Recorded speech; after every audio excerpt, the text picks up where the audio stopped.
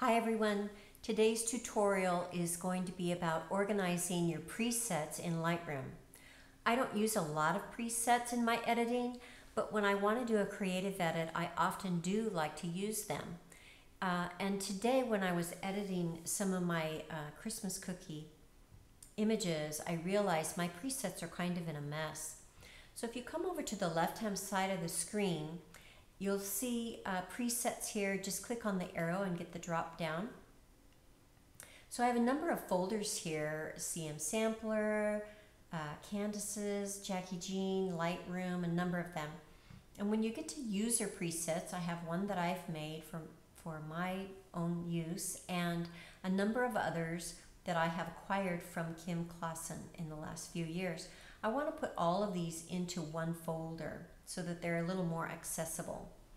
So I come up to the plus sign across from presets here and click on that. It gives me this screen. I'm creating a folder, so I want to come to this line here, user presets, and click on the uh, drop down or up as the case may be.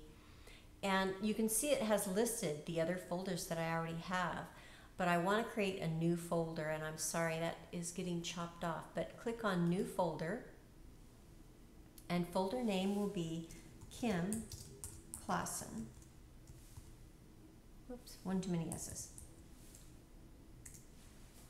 And create. I want to keep all of the settings checked and I don't want to do anything with the with this uh, preset name because I'm not creating a preset I'm just creating the folder. So we'll deal with that in just one second. Click create and now you can see I have a folder here on the left, Kim Klassen. I also have the untitled preset in which there is nothing there. So I want to right click and just delete that. Now I'm going to come down here to uh, the first preset that I have of hers called Bear.